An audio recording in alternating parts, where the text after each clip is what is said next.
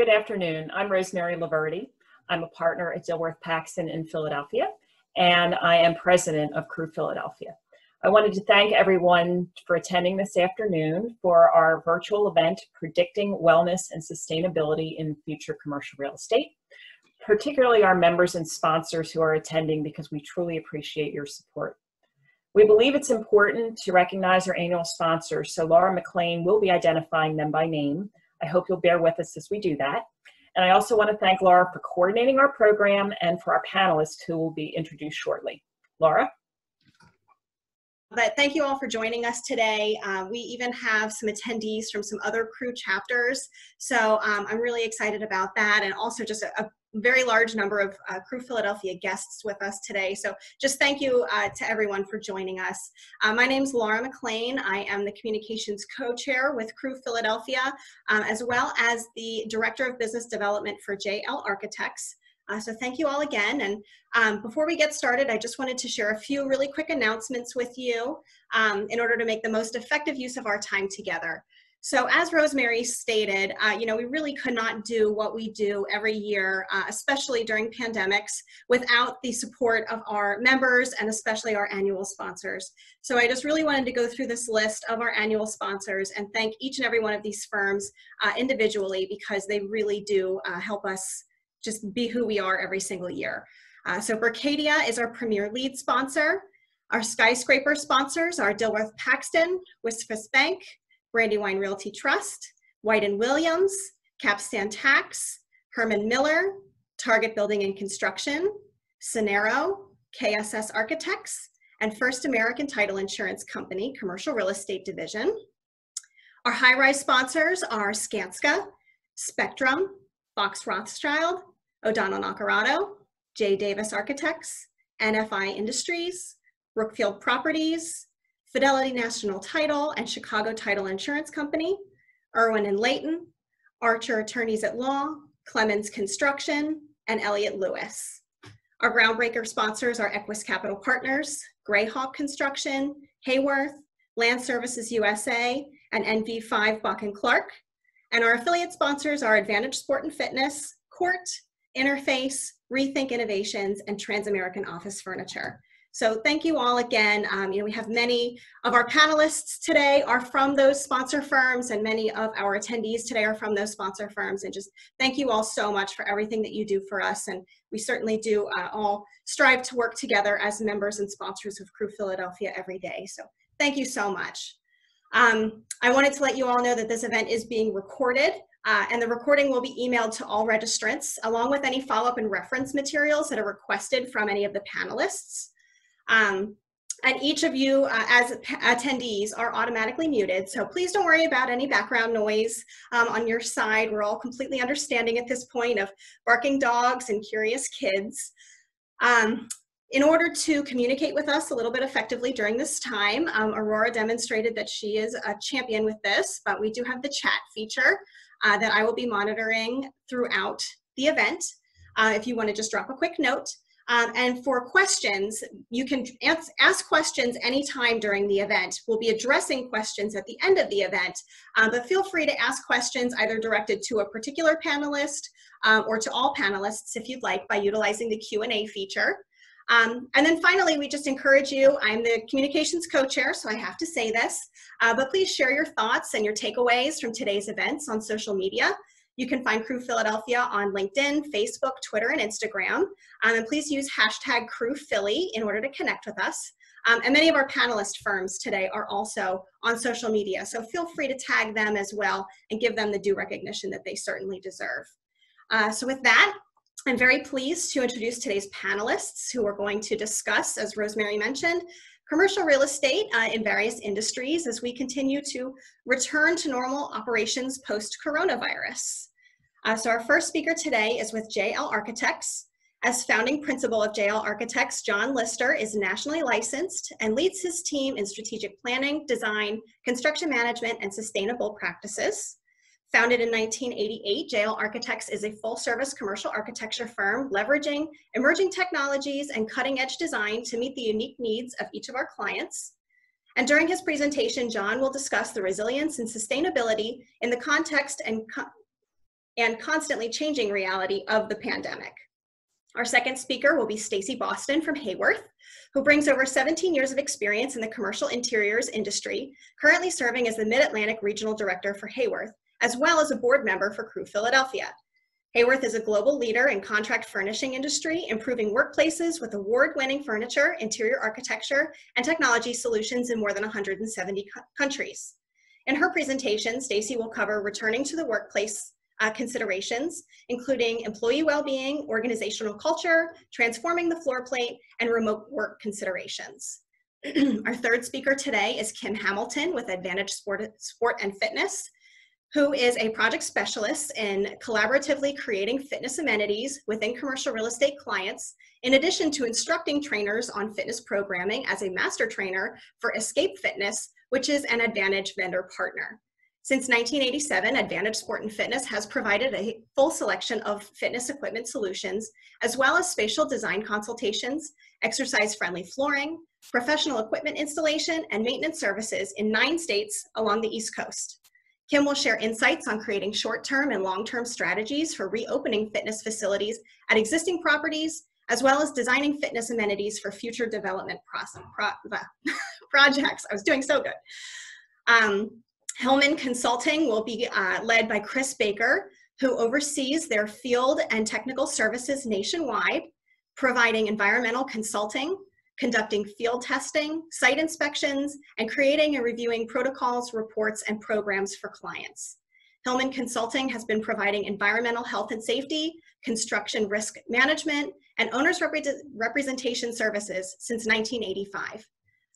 Chris will review his insights to help clients figure out how to get and stay operational in a COVID world, including building usage, cleaning, and social distancing within an operational building. Tony DiLeonardo, I was the one to mess it up. Tony, I'm sorry. Tony DiLeonardo is the vice president of, is the president, wow, of Wick Fisher White, whose expertise includes mechanical, plumbing, fire protection, and building commissioning, which he also presents to audiences nationwide. Founded in 1901, Wick Fisher White is an award-winning multidiscipline engineering firm that specializes in MEP and fire protection design, as well as commissioning for building systems in a wide array of market sectors. Tony will be discussing the potential impact of COVID-19 on building systems and how to design for better buildings and cleaner environments moving forward. And lastly, Nathan Dennis, the Vice President of Operations with Target Building and Construction, has been with them for 22 years. Target Building and Construction is a family-oriented organization for more than 30 years, providing differentiated services throughout the Mid-Atlantic region. Nathan will touch on the changes in construction industry, keeping workers and trade partners safe on job sites, policy and procedure changes to keep field employees informed, and looking into the future to adjust within our industry. So that was a mouthful, I apologize. I'm going to stop sharing and I'm going to turn it over to our first panelist, John Lister. And again, please utilize the chat and the Q&A features throughout the presentation. So thank you all again for being here and John, take it away. Oh, hang on, John, you are unmuted and I unmuted the wrong John. There you go. Okay. Um, very good. Thank you, Laura, and welcome everyone. Um, predicting wellness and sustainability in the future uh, in the uh, world that we know as post-coronavirus, hopefully. Um, I'm an architect and a sustainability consultant. I have um, licenses all over the country, and I'm also a accredited professional as a Green Globes professional and as a LEED AP. So the sustainability part works very well in and dovetails very closely with wellness, uh, which is something which I think a lot of people misunderstand. So let's talk about a little bit about uh, where we are and getting over the coronavirus. Um, we, I think I see that there are two ways that we're going to get through this. Uh, one is an emotional solution, which I think we're all going to have to deal with on our own level and uh, getting to the comfort level again that we will have to uh, go back to our day-to-day -day life, whatever normal looks like, you know, six months from now, because it probably won't look the same as it did three months ago. The other part is from a scientific standpoint, which is very objective. It's the easiest way to deal with things. Uh, we understand this to be a disease. We know that there will be a, a vaccine. We know that masks and social distancing and you know staying home and watching lots of webinars are good ways to keep ourselves from becoming infected and infecting other people. Um, there's a lot of apprehension along with this particular event simply because Um, I guess for me, the most, the greatest one is that I can be infected and not know it for a week and infect everybody around me. So testing and so on is a very difficult thing and, and managing that. On the upside, um, we know that we can get through this. In the past, there have been things that we have uh, taken out of buildings, and they include asbestos and PCBs and lead and paint and so on that we thought for a long time we couldn't live without. Um, at this point, of course, I can't imagine putting asbestos or lead in, in buildings any longer. So we're going to kind of, you know, come to a new normal, and we will adjust, and that will, you know, life will go on. Um, another thing, and this uh, strikes to the wellness aspect, is that people have become more aware of what they do with the extra time that they have. And uh, I think I started realizing about a month ago how remarkable it was that we were able to basically take most of the cars off the road and find out what would happen.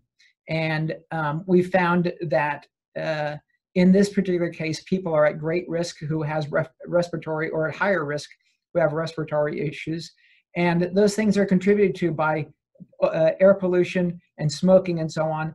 And then people are also taking the, the um, opportunity with all the time they have on their hands to be more active and to exercise and, and to cook more and so on. And so I think a lot of these things are going to, um, they can be cha- uh, behavior changes and for the better. And I think as we look forward uh, in life, we'll probably find that if they stick, we will be all the better for it. And that is what progress is. So, um, interesting thing this morning i was coming to the office and i was listening to a report about los angeles and everybody knows i am a, a, uh, southern california native. I went to college in la and i remember driving back and forth between school and santa monica for two years and every day there was a notice on the on the freeway that said unhealthful air tomorrow. Stay indoors if you can. That was every day for two years. Well they took the cars off the road and they found out that the ozone level only went down by 10%. It's about the trucks and deliveries. So this is kind of a takeaway. They would never have figured that out. And now they're talking about the Port of Los Angeles changing to electric vehicles um, because they found that that's where the ozone is coming from. And that's where a, a smaller amount of soot, but nonetheless the ozone, which is very damaging and, and harmful. So um, moving on then to sustainability and resilience resilience is a is a uh, buzzword which is becoming much and much uh, much more popular. And we're finding it to be more popular because we have things like this happening. We have the covid we have a hurricane we have you know shooters and that sort of stuff active shooters in, in workplaces and school places and that sort of stuff. So resiliency is the ability to spring back from an event um, frequently traumatic and it can be any of those things. So it's the ability not only to to to restore where you were but more importantly um, it's the ability to prevent the same thing from happening again. So it's being proactive and looking towards the future. Sustainability is is um, something that we hear about a lot. We hear about most the a term mostly with respect to green building certifications, which we're very active in. But it's meeting the needs of the present without compromising the opportunities for the future we're not using everything up and damaging everything, which prevents our children and our grandchildren and so on from being able to um, have the same opportunities to excel and grow that we have had. So that's where a lot of things about um, energy conservation, uh, renewable resources, whether it be wood or it be um, uh, renewable electricity and that sort of stuff, that's where that comes from. So um, I wanted to jump into something because I think about how we're going to have peace of mind looking forward. And we go into public settings, we have retail stores, we have restaurants, we have our, our, our uh, place of business, we have those sporting events that we're going to. We're probably going to miss the Super Bowl championship uh, parade for the Eagles this year. Um, you know, that was going to happen. We know it was going to happen, but who knows if there's going to be a football season. And even if they win it, will it count? Because will there really be 18 games? I don't know. So I don't know. The Patriots will probably have an asterisk. Any case, um, so let me share a few things which has have come. Uh, let's see how well I do with this. I think I'm doing it. Um, so we have high touch areas, and that goes for uh, places that we do at work where we go and we recreate even uh, you know if we go to the stadium where we go to the concert hall we go you know all these places so um, the image that you see here is about waving to open a door. Um, I'm sure you're familiar with the buttons on the wall that um, are for uh, opening doors for the handicap. Well, you still have to touch that, and that's where that potential contamination comes from. So now there are proximity sensors, so you don't have to touch that. Um, and it's just one more thing. Oops, uh, there. So when I say oops, you know I goofed. Um, on the left-hand side is an occupancy sensor. Um, it's something that you don't have to touch to turn the lights on and off. And not only, and you don't have to wave your arms either because it not only senses motion, but also that there's something there. So um, I don't have to wave my arms at night when I'm sitting here working by myself and the lights keep going off. Um, I believe Stacey has one of these keys on the right-hand side. It's made out of brass, which is a, a naturally, um, it resists contaminants naturally by its inherent properties as being brass. But you see, it's used for opening doors with that hook. It's used for pushing buttons, which don't have proximity sensors. So it's just an adaptation of, or adaptation for how do I not touch that? Um, I mentioned the Americans with Disabilities Act earlier. I've become acutely aware of how to wash my hands in the last two months and how to open doors without grabbing the handle. But these are people with handicaps and disabilities who've been learned for a long time. So actually the images that you see here are out of the Americans with Disabilities Act how do I open doors without touching it with the thing that I'm going to shake your hand or where I'm going to continue to, you know, touch my mouse or type on my keyboard. But you, you know, you open a, you, you used a, a closed fist to open the door. Um, whether you're pulling up that like you see on the left hand side, use your elbow or your forehand to, to, to turn on and off water. Um, also proximity sensors, motion sensors for soap, for paper towels you see on the next one. The one on the left, uh, you know, I'm sure we've been frustrated by the water that won't come on or go, go off of that sort of thing. They're getting much better. This one is actually even better because um, it's actually solar powered. So the light in the bathroom makes that work. Um, as an architect, we put these in a lot of times, but our clients always push back when they say, oh, we got to run electricity. So we have solved that problem. Um, this again, the, the uh, paper towel dispenser, these are all things where I can stop touching things again, and then the pull bar there so I can do it with a closed fist. Um, I was searching for things about, you know, how do we move forward? What's the new reality? The Washington Post thinks this is what airline travel looks like. Um, so I'm wondering what it's like. I mean, I don't know what do you, about you guys, but when the guy in front of me reclines his, his uh, chair, I can imagine that piece of plexiglass being in my face, not my lap. Um, but and I don't know what it's like to get in and out to the, to the window seat, but um, you know this is what they think, and that means the middle seat's not occupied and we're not breathing on each other. Restaurants of the future. Um, I don't really know how you not eat through other than a straw with this, but this is another Washington Post uh, or New York Post, excuse me.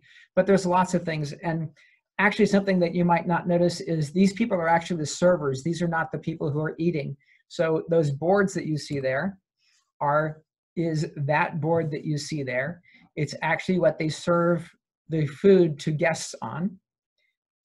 And all the guests are sitting in their own little um, tents and they dine by themselves. I believe this is actually in um, uh, Amsterdam.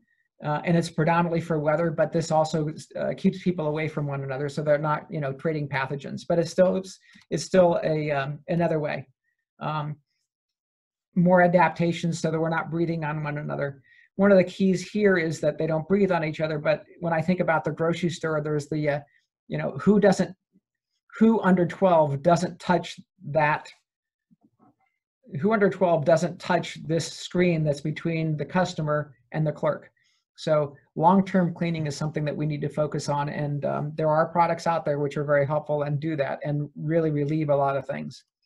Um, what office space looks like and how we uh, uh, keep away from one another. Um, these are things which are very common and maybe this is what things start looking like. Uh, on the right hand side you see you know a, a, shared workspace where people are lined up one, one from the other and across from each other a perfect way to share things but uh, uh, meaning uh, germs and disease. but on the left hand side if you look carefully the the workspaces are a little bit further apart but because the chairs can be arranged. We can sit at the tables, collaborate, but not necessarily be everybody exchanging germs in the same way. So it's positioning and it's just thinking about things in that respect. Um, so moving, oh, there it is. I knew I'd figured it out. There we go. So moving on, those things that address a lot of things that have to do with, you know, high touch areas, different environments in what you're going to do. You're going to uh, um, engage with people. I want to turn to the office space because we're seeing and hearing a lot of things about office space and large companies like JP Morgan and Twitter and, and the like who have hundreds of thousands square feet of space and they've sent everybody home and the CEO is telling everybody, hey, by the way, you're not coming back ever not just you know in september not in october not in 2021 just never and there's upsides and downsides to that. And i think they're finding that a lot of people are well obviously there's an upside is they don't pay rent on hundreds of thousands of square feet of prime office space. But the other part is they think that people are being more productive and they have their quiet space and so on. Um, i happen to know that a lot of people um, i'm sure a lot of people who are on this webinar understand that that quiet space at home is not really that quiet. Um, so there are trade-offs there. Uh, the other thing is, in the people that I've spoken to, very unscientific, but people that I've spoken to um, are um, uh, they like the idea of working from home, but they also like the idea that they don't have to work from home, that they have the option. There's a collaboration effect. There's there's um, company culture. There's learning to to know your coworkers. And um, personally, I prefer the real happy hour to the virtual happy hour. I mean, that's a huge thing. That's how you get to know people. That's who we work with. Those are our colleagues and, and our friends. Um, taking this and, and the awareness of sustainability and things, and there's a, uh, with um, the increased awareness and uh, sensitivity to uh, wellness, it brings to mind uh, a number of aspects that are in sustainability, uh, which are clean air and water um, conservation of water, natural light, um, the idea of circadian rhythm and the light coming up and going down during the day, acoustics, which I'm sure again people on webinar can uh, appreciate. You know, it's not always quiet, uh, and you do need quiet places, but you also need to uh, to have uh, things that you spare you share with one another. Um, so I guess um, ready for resilience, uh, moving into that um, things are not going to be normal again. Um, I think what we need to do to be prepared for the next one is to um, have to establish a level of comfort and confidence that we can handle this the next time. That there's going to be medical knowledge regarding treatment. That there'll be pre preparation in advance with PPE and and um, um, medical facilities, and that they see this coming. Um, consumers will demand better workspaces and better buildings to live in um, and better and greater provisions for the future for the next time something like this happens um, and then also we've obviously found out that you know there are alternate uh, workplaces that we can work from as everybody on the panel knows uh, and everybody at home um, and then lastly the ability to use materials, whether they be new materials or existing materials, to resist pathogens and the transmission of pathogens as we move forward. So I'm pretty sure that I've ran out of, run out of time or overstayed my welcome. So um, I will give it on then to uh, Stacey Boston and let her take over. Okay, great. Um, thanks everyone. Can someone just give me a thumbs up that you can see my screen? Thank you. So good afternoon, everyone. My name is um, Stacey Boston, so thanks for joining us. I'm the uh, Mid-Atlantic Regional Director for Haworth, and I'm going to talk today about Haworth's point of view for returning to the workplace. And I think it's important to note that I didn't say returning to work, um, because we all have been working. Um, and as states start to open up, we need to help companies transition back to the workplace. So we closed our offices, we turned our homes into the workplace, and finding that balance um, of how to create personal interaction with virtual collaboration is critical for our well-being. Um, every organization is seeking to understand what short and long-term changes they need to implement from facilities needs to work rotations, um, possibly sequenced returns of the workforce, and they're challenged with um, sustaining their cultures while keeping people safe, confident, and effective. So we, we feel it's really important to take more of an integrated view um, when we're helping our customers return to the workplace. And Haworth has identified three critical areas to focus on. The first being employee well-being, so both the physical and the psychological health, um, also organizational culture, and then um, looking at how to transform the floor plate. So we know companies want to create a solution that ensures that people can perform their best. They want to support their culture. Um, they want to leverage the existing products that they have, um, which is going to enable them to reconfigure with ease and at a reduced cost.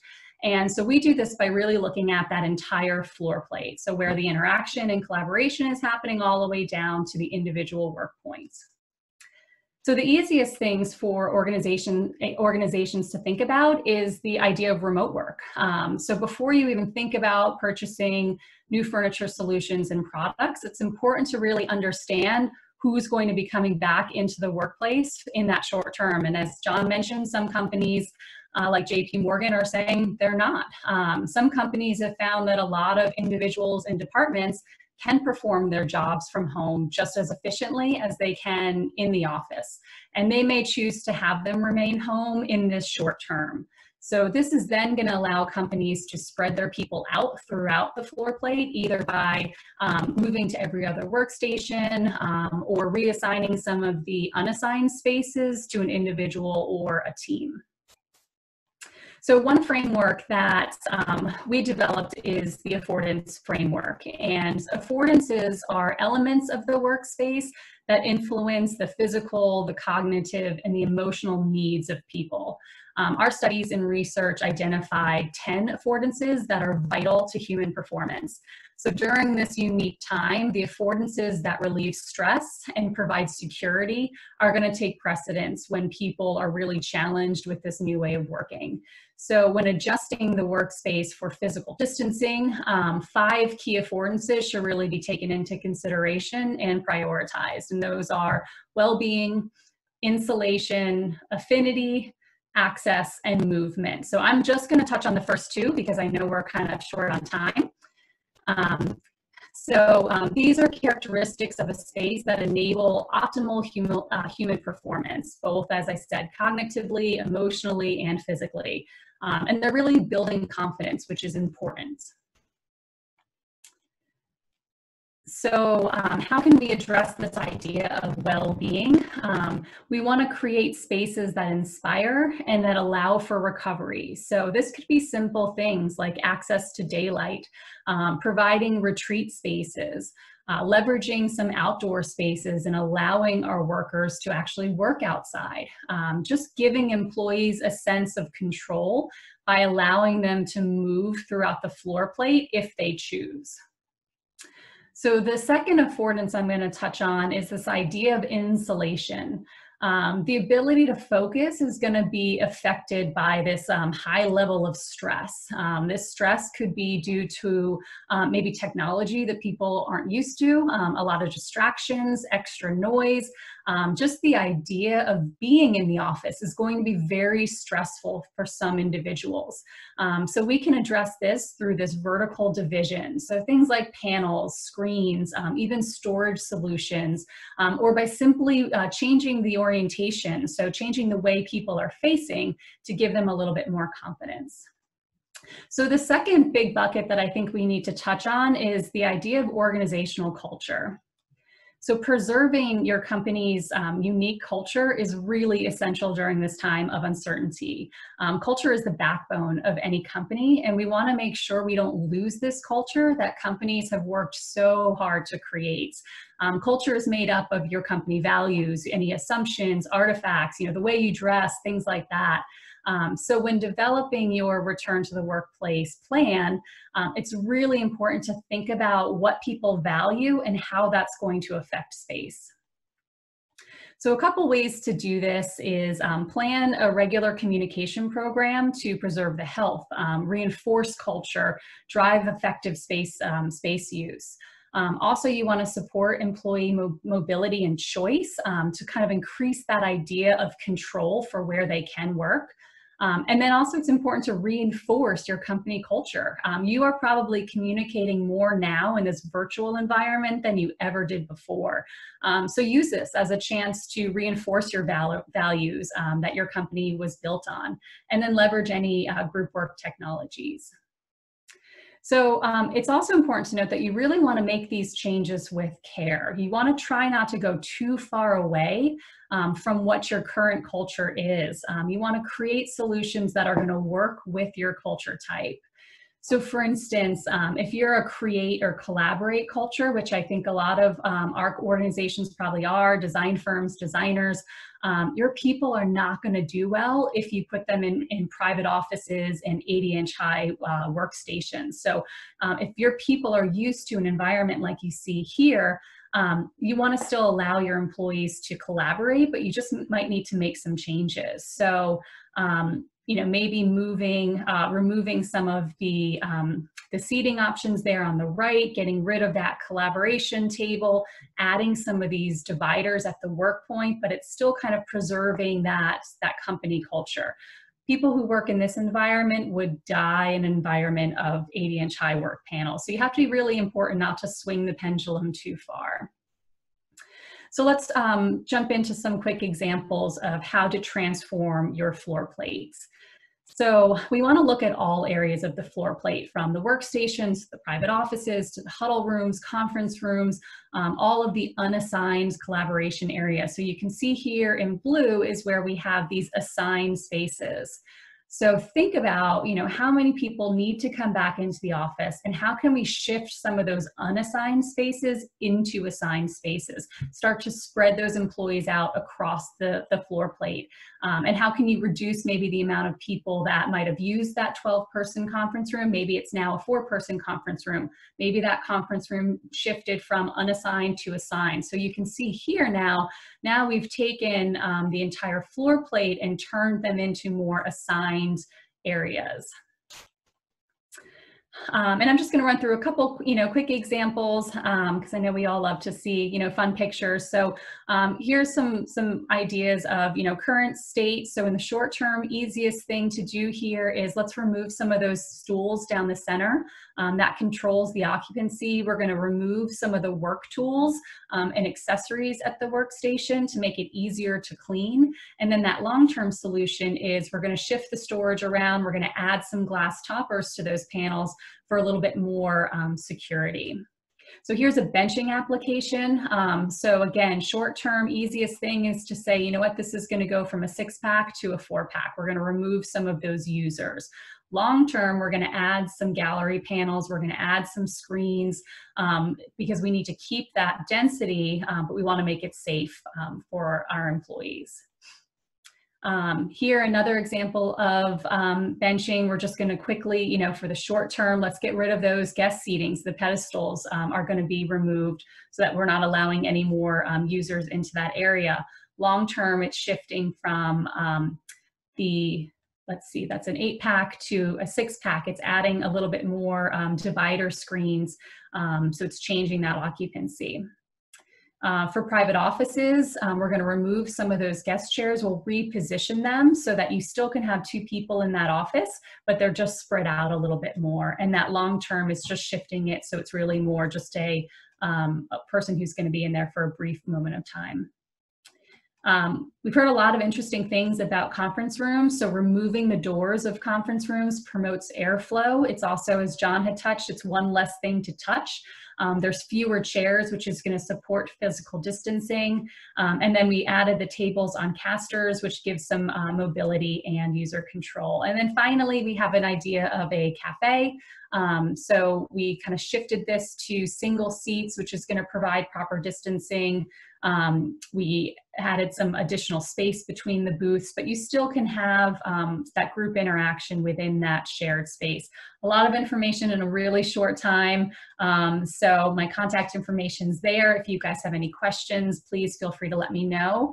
And I am going to kick it over to Kim Hamilton from Advantage Sport and Fitness.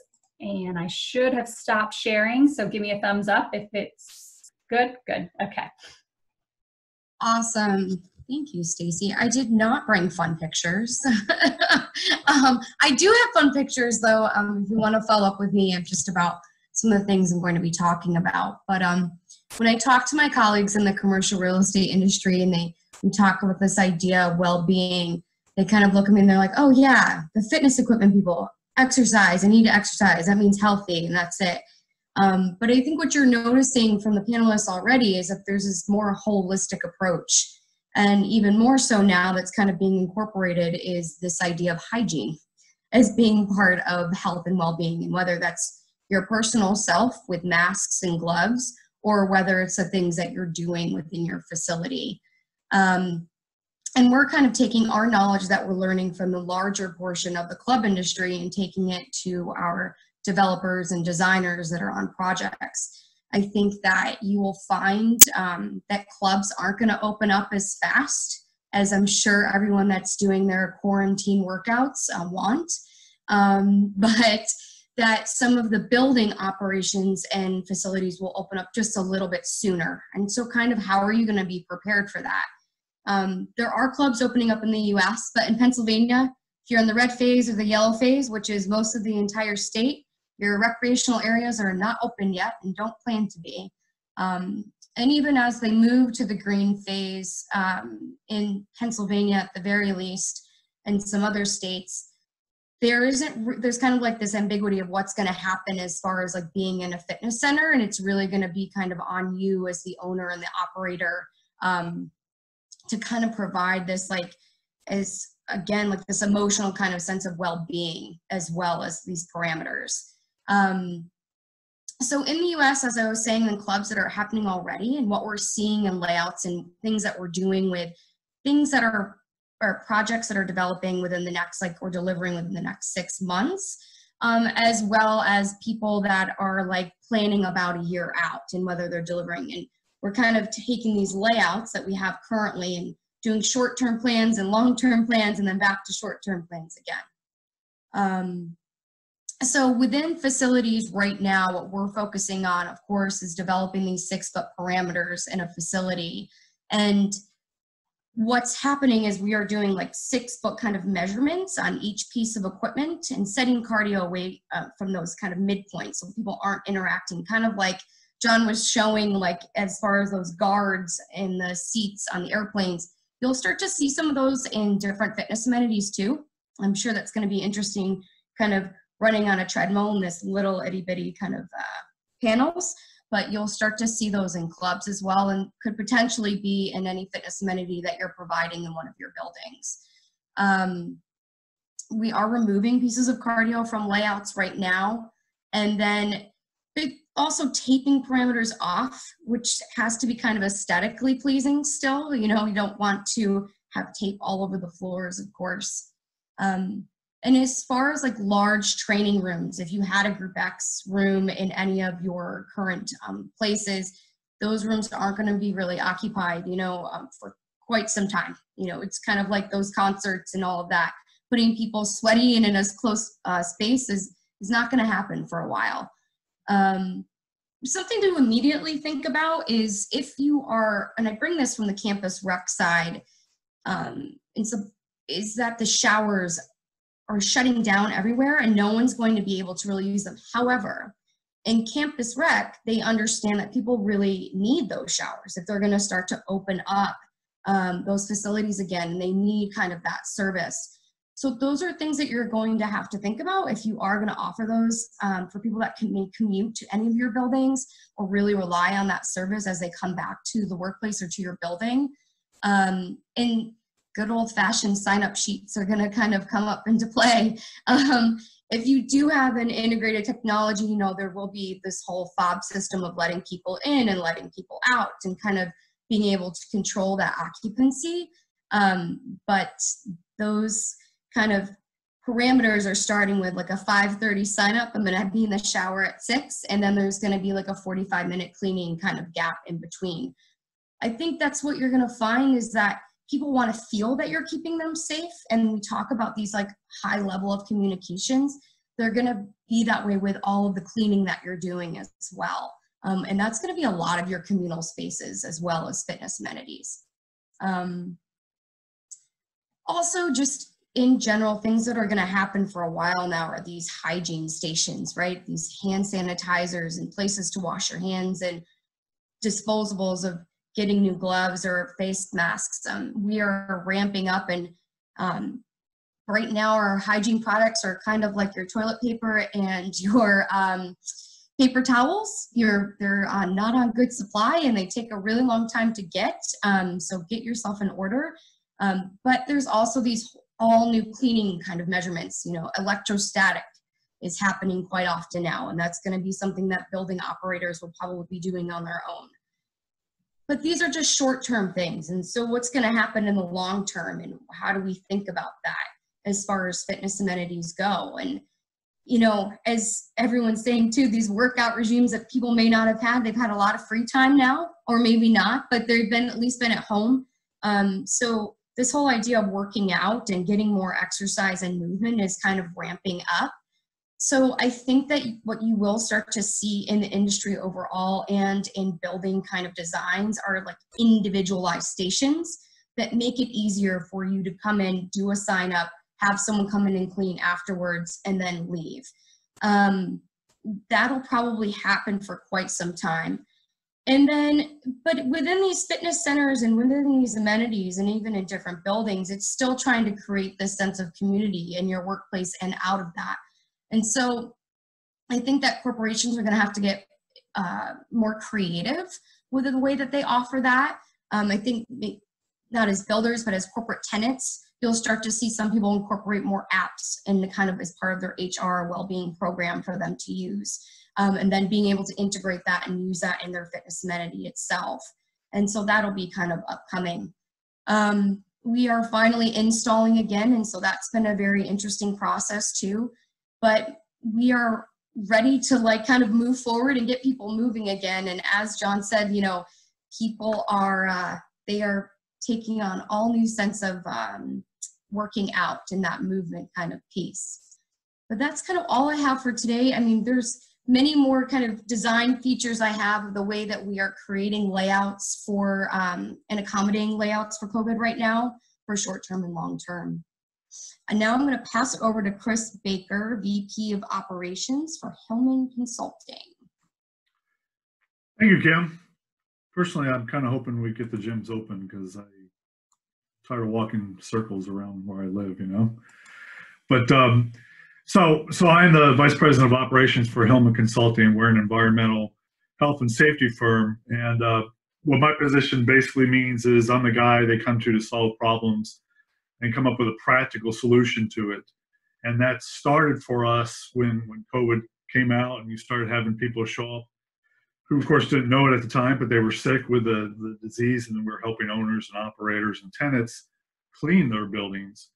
And nobody's in those buildings anymore or the occupancy is way down so at this point in the last couple weeks we've seen a big pivot to reoccupying what is it going to take um, to get people back in my building and I, one of the under, couple of the underlying points i want to make which is true with all our presentations really is people need to feel confident that it's safe to do this it's they need to feel confident that they can come back to work and, and not become infected.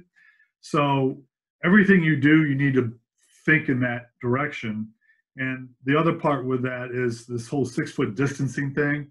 Um, when we aspire, when we breathe, we normally, normally, you know, you, you, when you, when you breathe out, you get water droplets that come out. It's not just air, right? And so that will move six feet normally. If I yell, it can go further. If I sneeze or cough, certainly go further. But six feet's really the key because that's like normal respiration, right? So everything you're doing, you want to be considering what does it take to stay on between that six foot social distancing. So, um, but our buildings have been largely empty. Some of them are partially occupied, like my office building is partially occupied. Hillmann's critical, so they're still here um, for good and bad. But um, a lot of our buildings have been sitting there kind of empty. So what I'd really like you to do first is go through your space. You, need to see what's going on in your space. There's been cutbacks in HVAC to try to reduce costs. There's been cutbacks in housekeeping, again, to try to reduce costs because there's people not there. Uh, but probably part of the problem with cutting back on your HVAC is it's not just there to cool or heat you; it's there to dehumidify. And we've been getting warmer. If you've ever had a roof leak or some kind of water leak in the space, and you don't have that dehumidification and just normal ventilation, you can start getting condensation. Condensation can lead to mold growth. So you really need to walk through the space just to make sure. Hopefully it's not there, but you know if that ice maker started to leak and nobody's been there, you, might have a larger problem. Make sure things like garbage is picked up. Some of my worst indoor air quality problems have been stuff left in people's desks and it started to stink when they were gone and nobody bothered to go through their desk. Um, I've been in spaces where mice are a problem, and when people are away, this mice will come out. So you want to keep it clean. General housekeeping issues. One of the things people don't think about, especially when they haven't been there, is making sure things like floor drains and sink traps have water in them. Otherwise, you start getting odor issues out of them. I'm not going to go a whole lot into the HVAC because um, Tony, with our next presentation, is going to talk about it. But a couple of things you, you do want to make sure is that you have clean filters, the coils and fins are being cleaned. Uh, CDC is recommending increased outside air. Uh, one of the things I'll say about increased outside air, you know, we've kind of switched from the nice green cleaners, um, particularly in LEED and well buildings. Uh, and now we've switched right to disinfectants and, and EPA certified cleaners, and they're not. They give off a lot more odors. Their base ingredients, their active ingredients are things like alcohol and quats, and these leave an odor. These things uh, off gas VOCs. So increasing your outside air will help dilute. We have uh, a little. We have a saying in the environmental business: the solution to pollution is dilution. And uh, while it's kind of cute, it's actually true, whether I'm talking about groundwater contamination or the air quality in your office space. If I can bring in fresh air, I can remove the contaminant. So that's something I, I believe Tony is going to get into. Increase your level of filtration. Uh, one of the things that I've already run into is make sure your exhaust systems are operational, particularly in parking garages um, that haven't been used in quite some time. So make sure if even if they're automated to CO levels, make sure they're on operational um, garages, kitchens, bathrooms. I was on a call this morning um, specifically about bathroom issues, and the exhaust ventilation is never great to begin with. Make sure we go back through and, and that exhaust is working. Um, one of the things you may want to consider is indoor air quality testing to be able to show everybody there isn't a problem in their space. Um, that's kind of individual. one of the bigger issues that people don't really think about too much is water within their business, within their building. So, you know, you're going to say, Chris, I get my water from the municipality that supplies me with water. It's chlorinated, you know, it's safe to drink. I'm not really worried about it. But water that sits in a pipe stagnant and doesn't move, it begins to off gas, if you will, that the chlorine or chloramines. And that allows bacteria to start to grow. So water that's been stagnant in your water line system can have bacterial growth, including Legionella, to the point where CDC's even got a specific page set up for this eventuality. And we're starting to see some testing coming back with, with hits on Legionella. So one of the most important things you can do, and, and especially in a gym where you would have showers and such, any kind of hot water system is flush. We need to flush our buildings thoroughly. We need to make we essentially want to replace the water that's in the building now with fresh water from the street.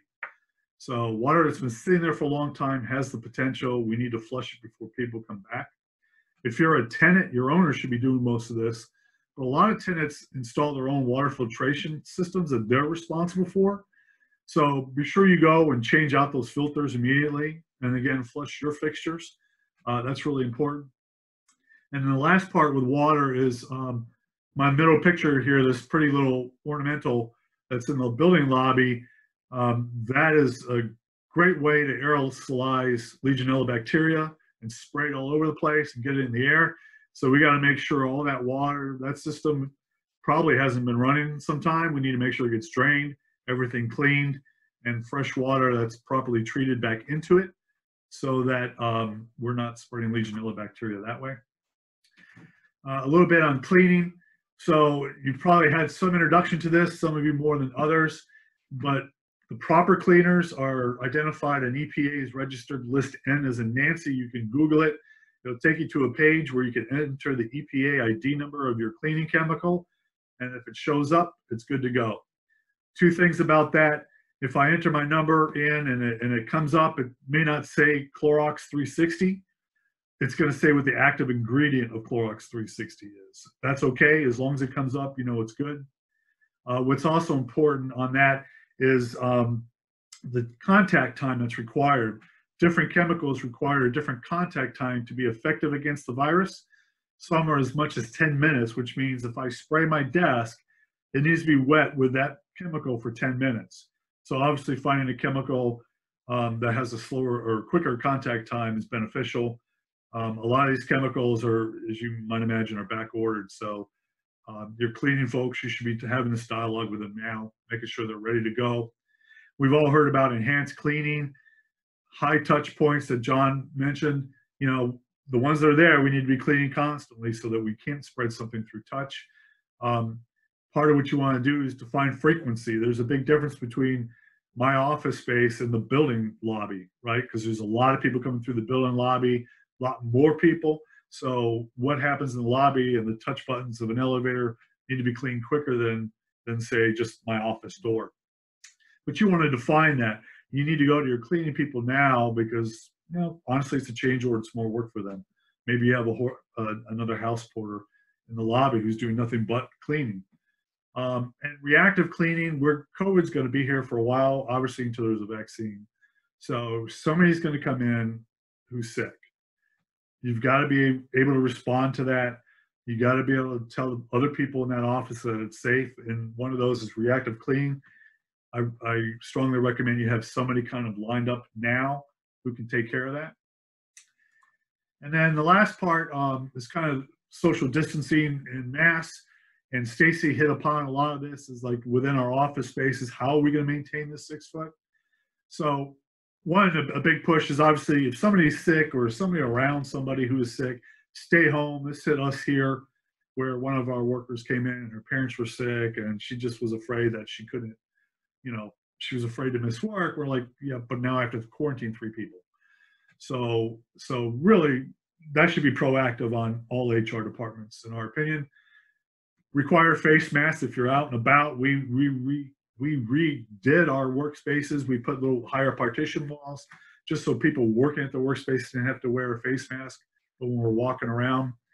Think about directional traffic flow. Maybe you can make the front door of your suite in only and the hallway side door um, exit only. You know, so we don't have to pass each other on the way.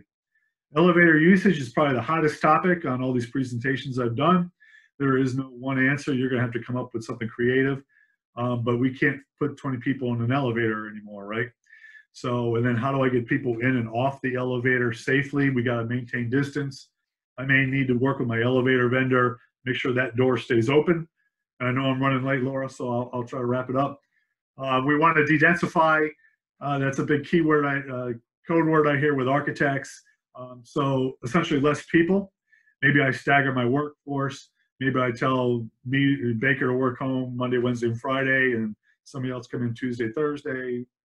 Uh, kitchen cafeteria, she hit. I'm not going to talk about conference rooms. She did that well. Um, one thing I do want to bring up: we hotel a lot. We we share workstations a lot, especially with people who are only in a couple of days a week.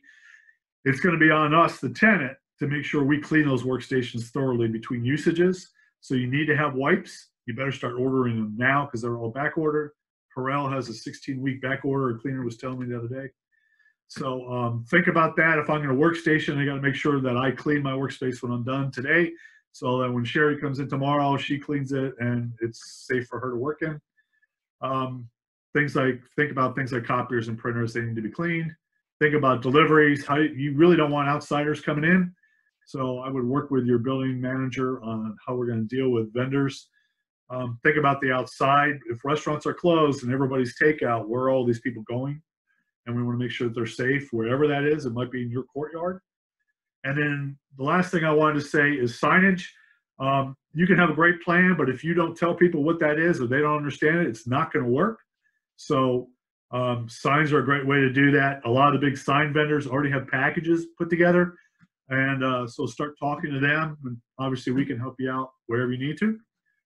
And that's all I got to say about that. So I am going to hand it off to Tony DiLeonardo. And I got it right. And uh, Tony's going to talk about mechanical systems. Okay.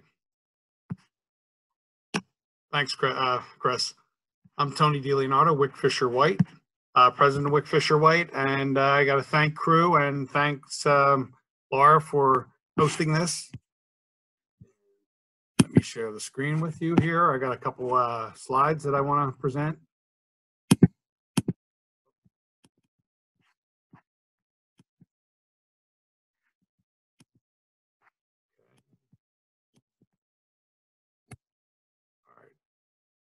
Everybody see it? Okay. All right, again, thanks a lot. And, uh, and, uh, Chris touched on it. Well, there's more, more research about, um, COVID-19 coming out each day. And Chris uh, talked about when we talk, there seems to be droplets that, that come out and, uh, you know, as far as six feet. And these droplets are large and heavier and, uh, most likely to land on surfaces. Um, we uh, and not maybe enter the HVAC systems, but there's different schools of thought. But I want to focus on COVID-19, but also also all pathogens, you know, to resolve this and uh, to try to provide a, a cleaner environment. So uh, HVAC systems can provide a positive role in infectious spreading. Uh, there's certain strategies uh, in design of new building uh, HVAC systems that can reduce the spread of bioaerosols uh, should a pathogen become airborne. ASHRAE, which is the American Society of Heating, Refrigeration, and Air Conditioning Engineers, has put together a task force to reduce the risk of infectious aerosols in buildings. Uh, from our experience in design and critical facilities, uh, and with recommendations from this task force, there's um, many upgrades, potential upgrades in design uh, that can be performed. Um, like all options, there's pros and cons, and uh, there, they some might have major cost implications. Uh, facilities should create a plan and budget appropriately for this. Oops. Okay. Uh, so temporary measures like um, portable filtration, personal ventilation, ionizers may uh, provide minimal help, but can create a false sense of security to building occupants. I know some of our uh, medical office building uh, clients have approached us about this they should be aware first before purchasing they should be aware of the capabilities uh, before purchasing them so all these potential upgrades can be done uh, in addition to like the non-hvac measure, measures which uh, the social distancing the disinfecting and uh, the personal uh, protective equipment to increase outside air ventilation and air change rates in the air distribution systems as chris mentioned you know pollution uh, this is potential to limit airborne pathogens transmission through the air. It allows uh, the introduction of more outside air. Uh, an air change rate is a rate that which outside air replenishes the indoor air within a room. Some building operators are opening up their outside air dampers for additional ventilation. Uh, this is a temporary measure that will ensure air moving quicker and being turned over more often while not allowing any stagnant air for germs to linger. Uh, you, better, you better be cautious because the warmer weather now is coming up and you can't introduce all that uh, warm or hot air because the cooling coils aren't able to handle that. There's specific air change rates that um, ASHRAE recommends, uh, ASHRAE guidelines recommend for facilities. Like clean rooms and hospitals have their own criteria and guidelines that are be followed for to achieve certification or increasing room airflow. Um, increasing the airflow, I'm sorry, will increase uh, the flow rate in your systems. This would increase potential uh, that bioaerosols will pass through the HVA system and treatment through a, a recommended UVC lighting or filtration system. Filtration systems, as you'll see in this chart that I have uh, posted, uh, filters MERV, MERV 13 or better can be installed to help reduce particles, dust, and some viruses. Uh, but not all HVA systems can handle the additional static pressure uh, of an upgraded filter. And most uh, of the better filtrations will not fit into these HVAC systems. Some are four inches thick. Uh, the slide indicates different levels of filtration. Some filters uh, increase static pressure requirements up to like two inches. which is uh, causes the decrease in airflow in HVA, existing HVAC systems. So most HVAC systems uh, do not have a frame uh, that can handle the increased size for this better filter. Also, you'll you'll see the next slide is um, ultraviolet germicidal ir- uh, ir- irradiation. Uh, there's UVC light, C lighting has the best germicidal effect. Uh, UVC uh, is very effective on inactivating and damaging microorganisms uh, in the air. It is known that UVC can be damaging to the eyes, but typically shields or baffles can be used to avoid direct exposure. Slide shows uh, UVC can be used at a high point of a room to provide some disinfection of air particles. The air would travel by natural convection and ki- kill most pathogens in the air. Um, the diagram shows a UV light direction upward, not shining in any, anyone's eyes, and located about seven foot uh, above a person's head or above the floor. UV lighting uh, can be used in air handling units as well uh, with filtration. When using an air, air, air handling unit, it typically would be located in the airstream and eliminate mildew and bacteria that may pass through and grow on coils. So, also there's airflow and directional airflow that can create a clean to dirty flow pattern similar to operating rooms and clean rooms. On the one slide, you see uh, to the left, most spaces have airflow, which mixes to a certain air change rate and goes back to the return air plenum back into the air handling unit. A more directional airflow, typical to operating rooms and clean rooms, is a single pass airflow pattern at a, at a higher velocity. This flow pattern can move infectious aerosols to uh, exhaust or to the return in a single pass and not have any recirculated air in the room. By exhausting the air, you ensure that the particular uh, particle or the uh, pathogen is sent out of the building or the return air uh, unit and filtered to be filtered or sent through a, a UV uh, light, light bulb. You can add exhaust, but be sure that you'll be able to provide the correct amount of outside air makeup air. Uh, exhausting air typically within spaces and uh, are typically done within spaces like laboratories, clean rooms, and hospitals. So also uh, temperature and humidity. There's been some suggested that temperature and humidity can influence a transmission or infectious agent. There's been some uh, analysis of certain airborne infection organisms that can be considered that considered adding humidity to control the, the uh, humidity, control to um, to the systems if possible. There was some proof that some microorganisms uh, were decreased with a humidity level range between 40 and 60 percent relative humidity. It would be great cost implications uh, if you add humidifiers, including additional maintenance and require uh, maintenance requirements on the expanded system. And also, uh, I know uh, Chris mentioned or John mentioned hands-free plumbing fixtures. This is something that's uh, I think going to be in every every facility these days. But how about the door that uh, everyone goes out and they grab a, a, paper towel and they open the uh, door on the way out. So they're going to be automatic doors.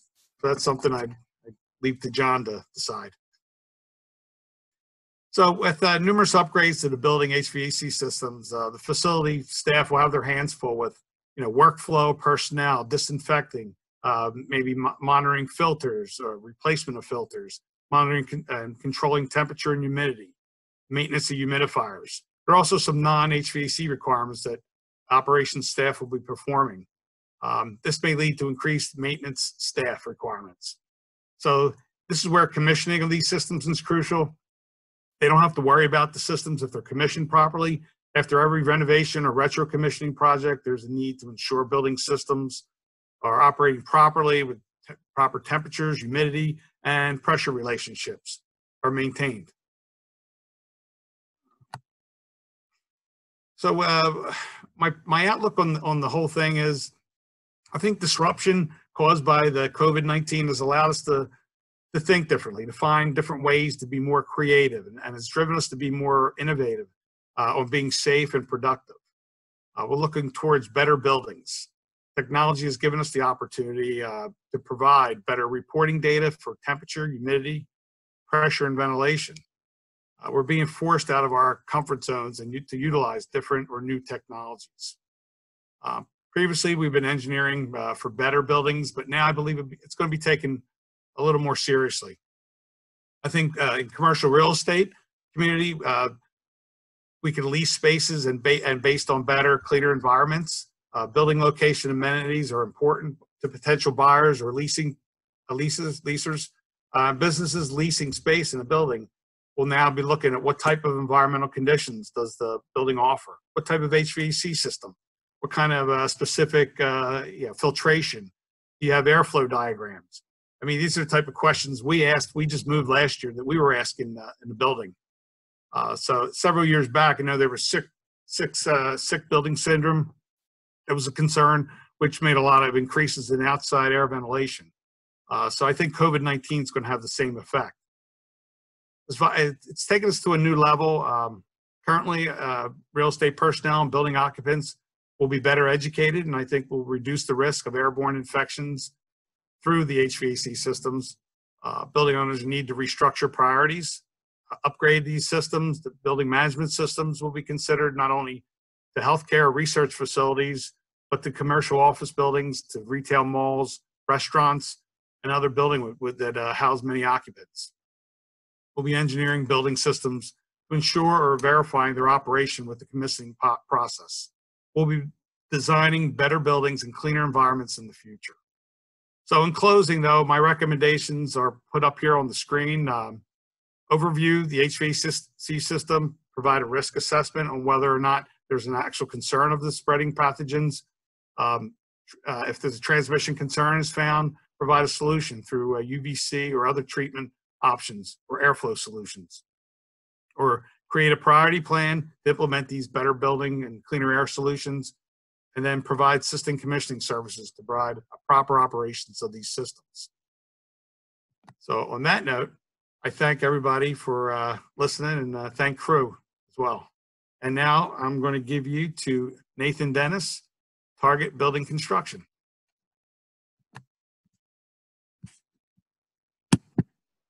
Thank you, Tony. And uh, thanks, uh, Laura, for putting this all together and CREW. Uh, I think everybody in the panel has done a great job. Hopefully I can uh, hold my end of the end of this up. Um, my is Nathan Dennis. I'm the VP of Operations for Target Building. Uh, the majority of our work is hospital and healthcare and higher ed. Um, so on March 12th of this year, our industry changed dramatically, and I think it changed for a lot of people's lives. That we were ordered on a Thursday afternoon. That Friday was our last day of construction, and the, and everything was going to be shut down for what they said at that time was two weeks. Um, as you can imagine, on all the hospital projects we were doing, clients, workers, um, everybody was in a panic mode. We needed to tighten up jobs to make sure everything was safe and secure, and nobody really knew what the next direction was. By Saturday night, we were informed by the governor changing his status that all of our hos- hospital and healthcare um, projects were going to get started. Um, so at that point, we needed to gather our troops on a Sunday and come up with policies and procedures to reopen up our hospital projects. And what we did is basically we needed to convince the workers that the job sites were going to be safe and be able for them to occupy. So this was a huge change, a huge uh, challenge for our safety people, our management people, to come up with these the operations that we had.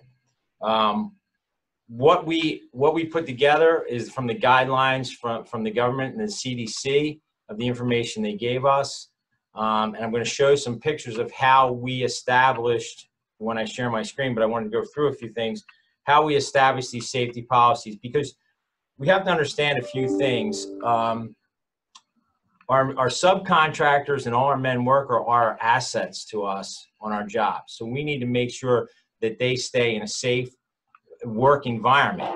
So what we needed to do, I'm going to try to share this screen and I don't, you know what? I don't have it.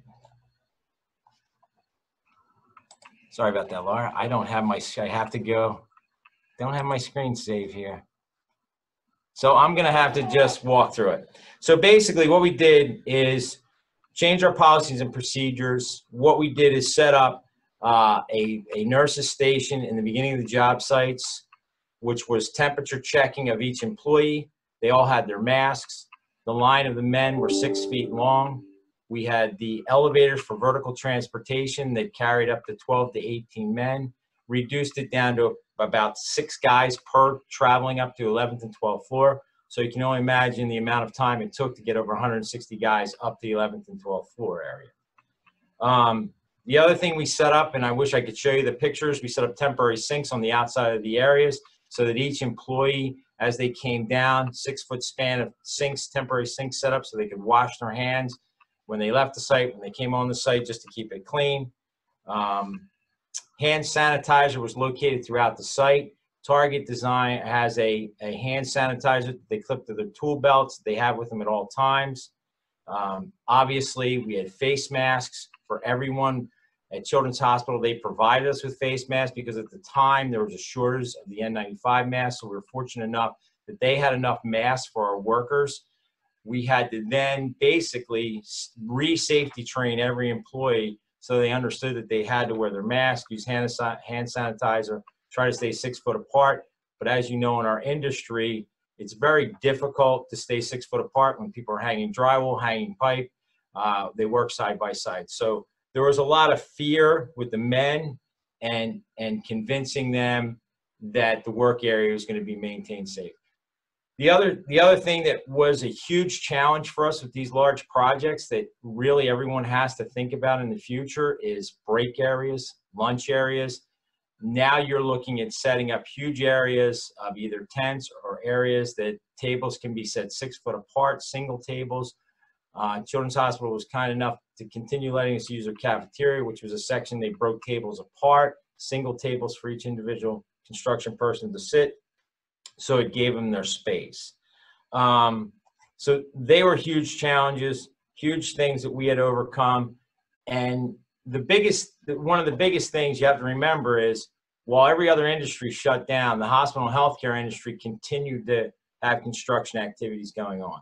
One of the things that I found uh, on a daily basis was uh, the fear from the men because obviously they're going home to their families and they're just like the first responders and nurses and everyone else. They feel that they're in harm's way. Communication with the workers and having them understand what we were doing to protect them was key. And one of the things that I found that that really helped in the early stages is we had some doctors and nurses talk to the men on the job site to explain how this virus was transmitted. We all know a lot about it now, but in the first couple weeks, we really didn't know what we were up against. Were we getting the truth? Was this, you know, how was this being transmitted? You know, uh, because this is, you know, was catastrophic uh, in this industry. I've been in this industry for over 40 years, and people said, you know, younger guys have come up to me, well, what happened when this happened before? I said, this has never happened before, where they have shut projects down uh, because of this. Um, so it was a concern to everybody. So I think with, you know, doctors and nurses explaining to the construction guys instead of management who in the in their mind was just trying to get a project done was very helpful to keep them uh, safe and secure so that they knew that they were working in a safe environment. You know, I know everybody in this panel, this is going to be with us for a long time. It, it, it's not going to change. This is one virus. There's always, there always could be a threat of another virus. I, I firmly believe that these masks are going to stay with us on the construction site, just as OSHA came in and instituted other safety precautions on, on safety glasses, hard hats, you know, tie down, all these things. This, it's just going to be, I think, um, one more thing that stays within the industry um, to keep, continue to keep the men safe from that standpoint. So, you know, from a future standpoint, you know, from from a from a contracting and pricing standpoint, we as as contractors and the owners need to look at. Uh, there's going to be cost associated with this um, on, on, these projects, just with the way you're going to set up. The more square footage, the more laydown area, your logistics of job sites are going to change dramatically. If you have, you know, 200 guys, where are these guys going to sit and eat? So now you've got to think about all these strategies um, and how they're going to be handled. So the the only other um, a few other things that I wanted to talk about. One of the things that came to us today, um, they have just instituted, and there's a couple projects that I've heard in the city already that um, they're gonna they have hard hats that have basically uh, like a LoJack system, and everybody gets them attached to their hard hat. So if you're within six feet of somebody, it documents it, and if that person does test positive, this then will can alert everyone that was with him in his area um, that this person was has tested positive. Um, so that's you know new technologies coming out. The other challenge we had is our, our office needed to reopen because you know with all the hospital and healthcare work we were doing, so we needed to go on shift work here in the office on, on project managers on certain days. A lot of people from working home, but same thing that, the panel was talking about on how we had to make conference rooms now offices and separate people and move people around.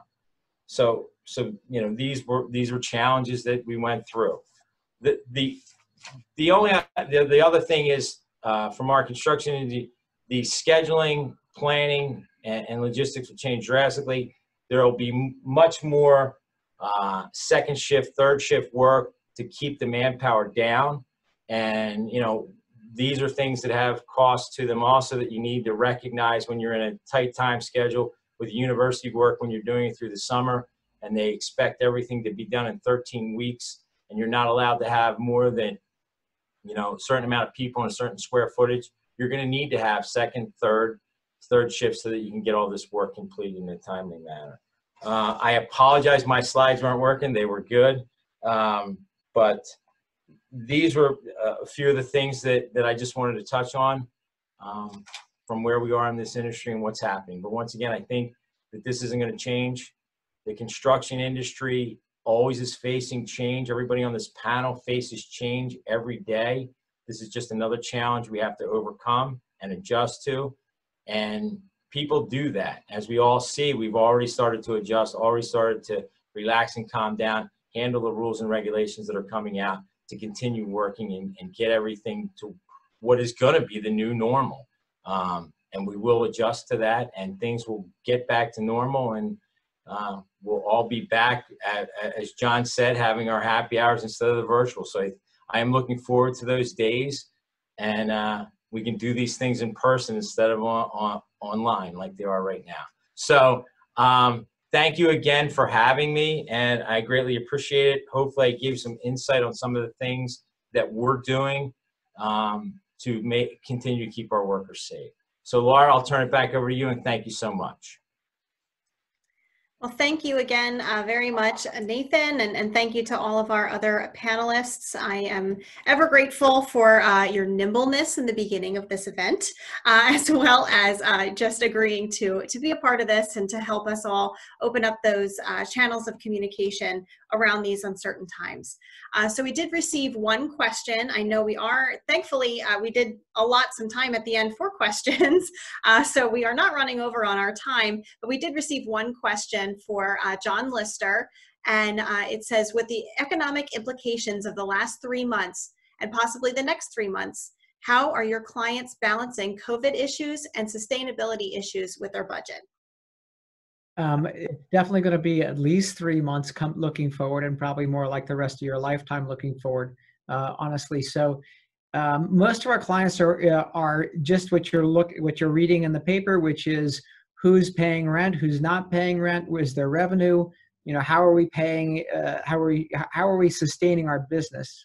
When it comes to uh, balancing the needs and priorities of sustainability and COVID, um, you know, COVID obviously is a life and life and death, and it's urgency. It's a matter of setting priorities and urgency uh, based on urgency. Sustainability remains at a higher at a priority, it's growing actually, much like I was referring to in my in my conversation or my um, long-winded uh, presentation. Uh, and then budget is, you know, budget is always there. It's regardless of uh, good times, bad times. There's always a budget, and um, always trying to make the most of it. So. Um, I guess to directly answer your question, it's it's a very much a balancing act that everybody is still figuring out. Wonderful. Well, thank you so much, John, and uh, thank you to all of our participants. Again, apologies uh, for some of the technical difficulties that we experienced in the beginning. Um, but as I mentioned, the recording will be sent out to everyone, uh, hoping by the end of the week. And um, so then that way you can kind of catch up on anything that was missed or um, refresh any memories that you have. And as always, you can reach us on social media or by emailing crewphiladelphia at gmail.com. And we can um, we can answer any questions that you might have that way afterwards. So thank you all again so much for your time. Uh, thank you to all of our panelists. I hope that you all stay safe, stay healthy, uh, as well as your loved ones, and enjoy the rest of your afternoon. Happy Memorial Day weekend as well. Thanks, everybody. Thanks, everyone.